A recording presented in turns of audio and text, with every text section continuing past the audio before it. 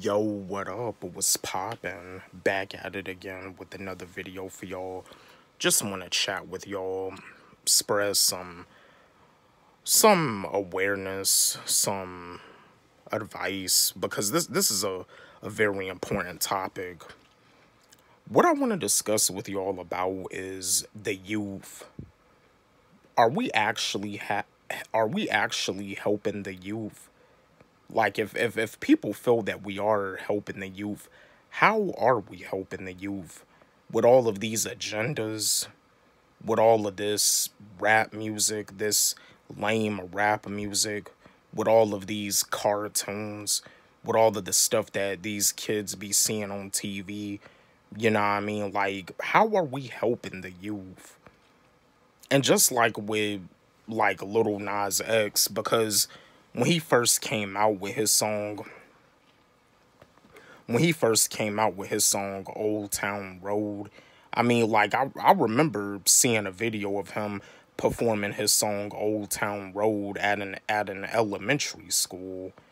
And like like with the BET awards it showed him French kissing another dude like when it comes down to kids, kids don't really need to be looking at that stuff they even be putting some some they even like be having gay cartoon characters and even on some of these Disney Channel shows, just like on the Disney Channel show Andi Mack. I mean, it the yeah the show Andi Mack it ended up being canceled, but I think it was like the first Disney Channel show that depicted a gay character.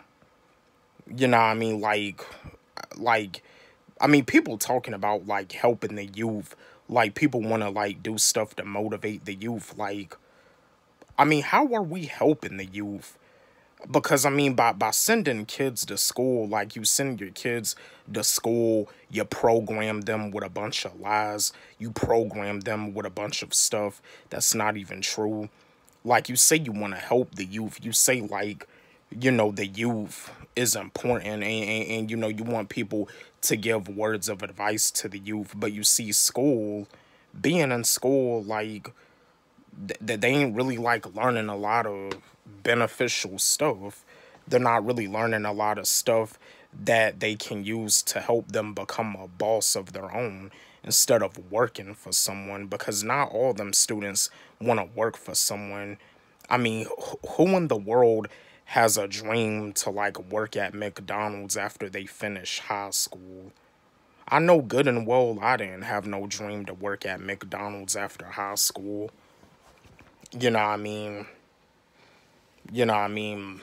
You know, I'm doing what I need to do to have me a career. I'm not about to live my whole life working at McDonald's. But I mean, how are we helping the youth? Because if you ask me, I feel like we're we're we're kind of I feel like with the media and everything, the stuff that they have on TV with these cartoons, I feel like the media is destroying the youth. You know what I mean? I feel like the media is destroying the youth. Like kids go to school and and, and, and you see now with this with the pandemic, with the coronavirus, with with with with with COVID, like they saying that like the students need to get caught up when school starts back. I mean, to be honest with you, I don't think school is really gonna be the same with with the COVID stuff. S school is probably not gonna be the same. Talking about saying like they need to get caught up, there ain't but so much that y'all can really do. I mean, besides, as long as the students know how to read, write, add, subtract, multiply, and divide, you know, like and, and, and count their money. That that's all they really need to know. All, all the rest of that stuff, sine, cosine, tangent, mean, median, and mode, polynomials, monomials, factor, and trinomials, they don't really need to know that stuff unless they want to be an engineer or something. But other than that, a lot of them students don't need that stuff. Like like for for for for for school to teach us a bunch of stuff that we're not even going to use in our real life. It's a waste of our time and it's a waste of the teacher's time. Teachers already be complaining enough as it is about not making any money. Like you even, they even had teachers protesting for better teacher pay. So, you know, school's a waste of time.